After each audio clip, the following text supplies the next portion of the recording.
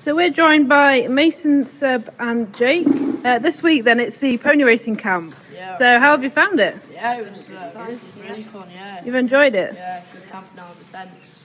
So, this is the final day. So this is Friday. You've been here since Monday. Yeah. So, what kind of things have you got up to then this week? Um, we done we done a bit of fast work on the gallops yesterday, Yeah.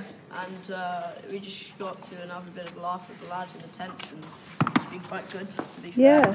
So, you've been staying on site then this week? Yeah, yeah. You've enjoyed it? We, we were staying in the tents down down the road. Um, Yeah.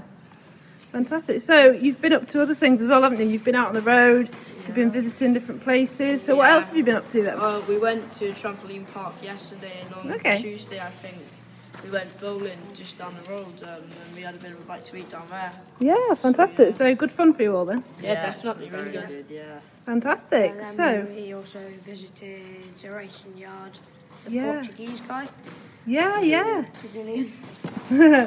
so, how did you find that then at Racing Yard? Yeah, it was normal for us really because we work with quite a lot of racehorse trainers, and it's just good to see how all, all the other things work up there. So Yeah. Exactly, It's yeah. good to get an experience while you're young as well to see how different things are run, different places.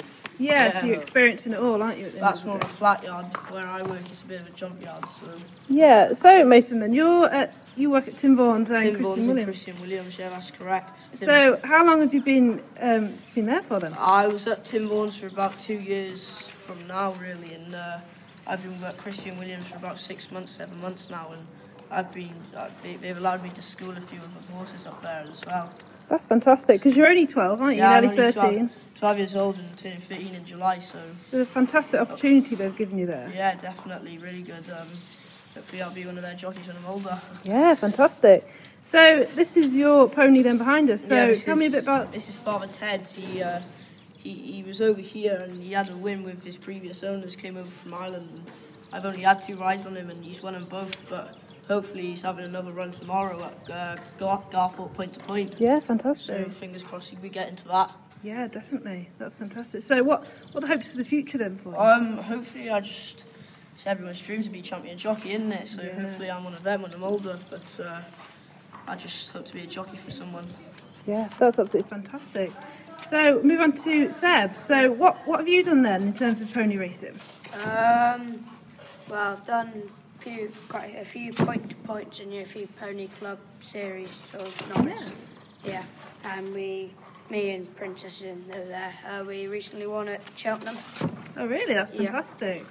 Fantastic. But that was a good buzz to be there. Yeah, a great place to have your first win. Yeah, exactly. Fantastic. So what what's your hopes then for the future? Uh, your I want dream? to be a national hunt jockey. Yeah, Yeah.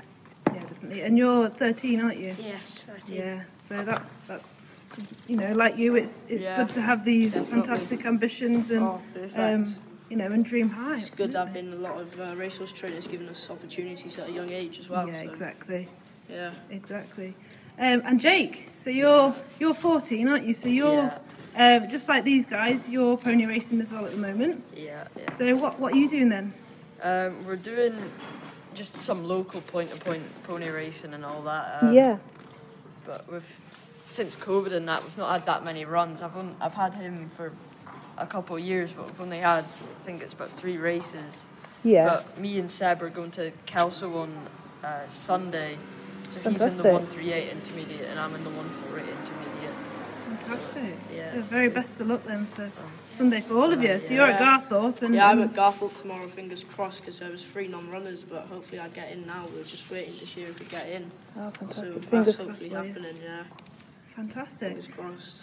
Well, thank you very much, lads, oh, and Yeah. we wish you the very best of luck Thank in you the very future. much for having us. Thank Thank you. you. Thank you. Bye.